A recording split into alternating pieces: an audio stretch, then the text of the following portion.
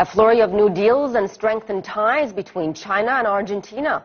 President Cristina Fernandez de Kirchner is in Beijing meeting with President Xi.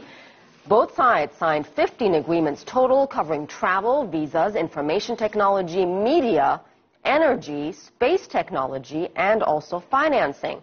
China also agreed to help Argentina build more nuclear power plants and railways.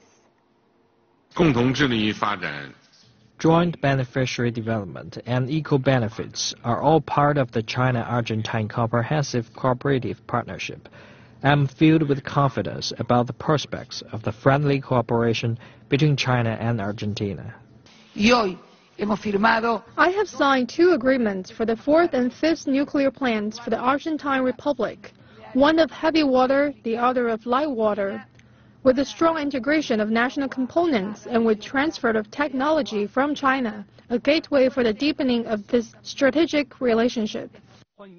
China recently pledged $250 billion in investments in Latin America over the next five years.